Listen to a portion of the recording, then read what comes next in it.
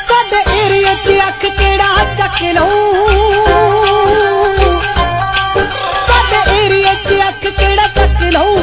ਐਨਾ ਹੈ ਨੀਗਾ ਕਿਸੇ ਦੇ ਵਿੱਚ ਜਿਹੜਾ